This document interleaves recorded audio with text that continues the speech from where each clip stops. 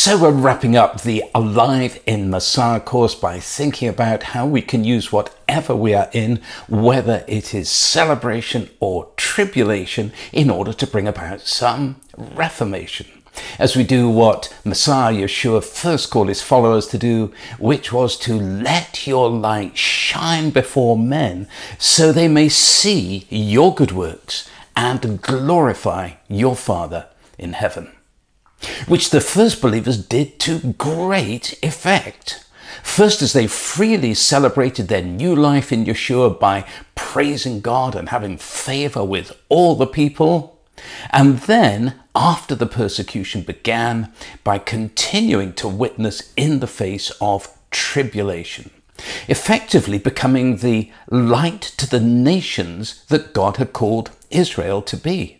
to set the story rolling of how the influence of what would become the Christian church, despite all its inadequacies, would change the course of the world. This being God's original intention for Israel, to whom he gave a very particular opportunity through which to influence the nations of the world. Through the location of the promised land, having desert to its east and the Mediterranean Sea to its west, which made it a land bridge between Africa, Asia, and Europe, and led to one of the most important trade routes running right through it that Isaiah 8 referred to as the way of the sea. So, by being at a crossroads of the nations, Israel had huge opportunity to influence those from the nations that passed through by revealing the light of the God of Israel to them. So they could then carry it back to the nations that they came from, that it might get seen there and change how things were there. The process of such influence being how God intended all Reformation to be produced, whether great or small, to make things more like what he'd want them to be like. As Yeshua pictured through deeds that are sufficiently visible that they prompt others to reflect them, possibly to multiply them, and even for them to become like a rolling snowball of glory being given to our Father in heaven. Which is what happened at the 16th century Reformation through the celebration that followed from Luther's rediscovery that by grace you have been saved through faith. When people who previously believed salvation depended upon their works were no longer terrified that their works would not be enough to save them from hell.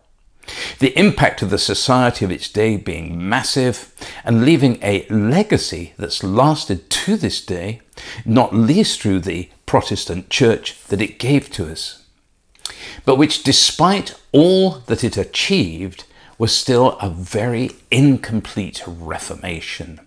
as it lacked the second key of what enabled the first believers to turn the world upside down begging the question of what might follow if the church were to generally rediscover this other key. And that is, of course, God's continuing purposes through Israel. However, whether or not this ever happens, the challenge to us is how we can harness the distinctive equipping that goes with that calling so that we can do the sort of things that will enable those who are looking for some light in the darkness to find it. And also to demonstrate that just as our sin doesn't have to have the last word, neither do our circumstances. Indeed, that the spiritual atmosphere that surrounds us as God's children can be influenced because of who we are in Messiah Yeshua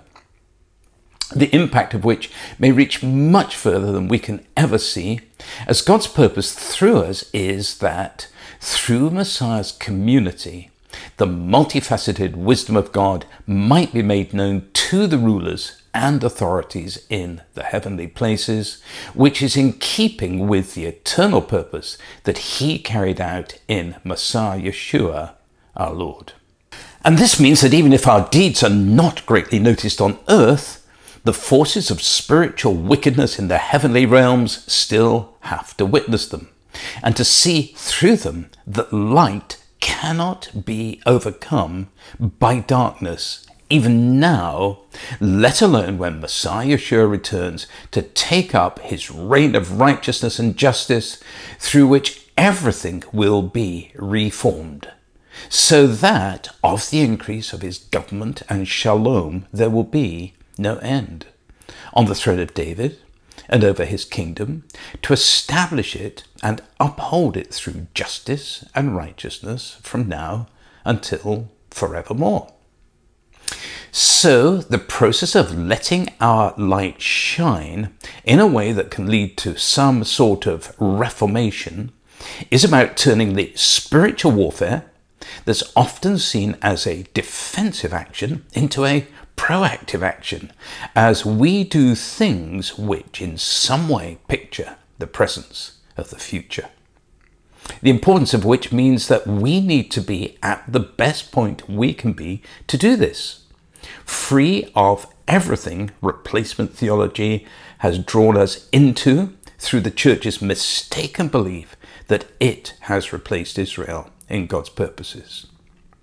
and having a firm grasp of who we actually are in Messiah Yeshua, who came as the Jewish Messiah to the Jewish people, and who, in doing so, fulfilled what the tabernacle foretold. Because this enables us to be less hampered by sin through the help that it can give us to understand how to continually count ourselves as dead to sin. And this can then free us up as those who are grafted into Israel so that we can draw from the help that distinctively comes from the gifts God first equipped Israel with and that Yeshua redeemed, so that our light gets seen and causes others to give glory to God as the God of Israel, to produce the sort of reformation that looks to the coming of his kingdom on earth. Beginning with how our being God's children follows from his adoption of Israel as his firstborn, so that we may be blameless and innocent, children of God in the midst of a crooked and twisted generation. Among them you shine as lights in the world, holding fast to the word of life. And this then leads into the gift of the glory we've become heirs of, so that even if others don't really understand it, they still recognize his presence in us. The reason being that God, who said, Let light shine out of darkness, is the one who has shone in our hearts to give the light of the knowledge of the glory of God in the face of Messiah the potential of which is further enhanced by the other gifts of the covenants, Torah, temple service, and the promises. As in their own way, they connect us to the righteousness and justice that is the soil of the good works that can cause others to glorify our Father in heaven, and from which so much else can then follow and by drawing from the gift of the covenants, because I, the Lord, love justice. I hate robbery and wrongdoing. In my faithfulness, I will reward my people and make an everlasting covenant with them. Also from the gift of Torah, in which it says, Pay attention to me, my people. Give ear to me, my nation, for Torah will go out from me, my justice as a light to the peoples. As well as through the gift of temple service, so that my soul will be joyful in my God, for he has clothed me with garments of salvation. He has wrapped me in a robe of righteousness, like a bridegroom wearing a priestly turban. And then through the gift of the promises, because the promise to Abraham or to his seed to become heir of the world was not through the law, but through the righteousness based on trust. And as these gifts variously enable us to release God's righteousness and justice, we can then experience the abundant life that Yeshua spoke of as it comes through his connecting us back to the foundational promise that God first gave to Israel, saying, If you listen closely to my voice and keep my covenant, then you will be my own treasure from among all people, for all the earth is mine. So as for you, you will be to me a kingdom of priests and a holy nation. Because then we see how, even as grafted in Gentiles, we're part of his kingdom of priests and his holy nation who are producing the fruit of the Jewish root. That not only enables those who see it now to be influenced by it, but how it also points to what is going to happen at the final fullness of the Gentiles, when even if there's not another reformation within the church as a whole before then, a sufficiently large remnant of the Gentiles from the nations of the world will display so much fruit of the Jewish root that it will have immense influence back on Israel, provoking Israel to great jealousy that will be a significant part of what will lead to the saving of all Israel through which Israel will undergo the most miraculous reformation to finally become what God first called it to be as a light to all the nations of the world. So, although we may not always feel like it, we are actually in the flow of what can lead to such immense reformation beginning very simply with ourselves and of others who may see our light, but actually ultimately leads to the reformation that there still could be of the church, and which there is going to be of Israel, and finally of the world when all things are made new. And that is what the influence of the good news of the kingdom is all about. And where it begins in us is by being reformed in the way Yeshua told the seven believing communities of Revelation 2 to 3 that they could be. As we live in the light of being loved with an everlasting love, freed from sin having the last word, and called to be part of God's continuing purposes through Israel, such that we then can have the same potential to be the overcomers that He told them that they had. Because it's this which then enables us to harness that very distinctive gifting that God first gave to Israel and which Yeshua redeemed, such that our own light can shine in a way that can cause others to end up giving glory to God, through which they can then discover for themselves what flows from the Jewish roots of the Christian faith. Our goal being that they should not be ignorant about them, let alone arrogant about them, lest they become cut off, but instead to come to understand that it is not you who support the root,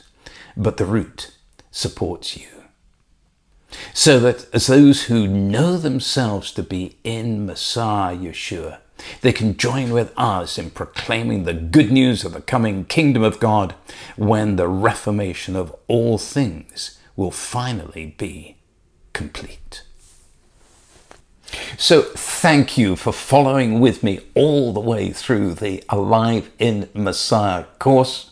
And may you be greatly blessed as you make it your aim to continually count yourself dead to sin and alive to God in Messiah Yeshua. So, with that, let's now think about these three last questions. What does being in Messiah Yeshua now mean to you? and continually counting yourself dead to sin, and also continually counting yourself as alive to God.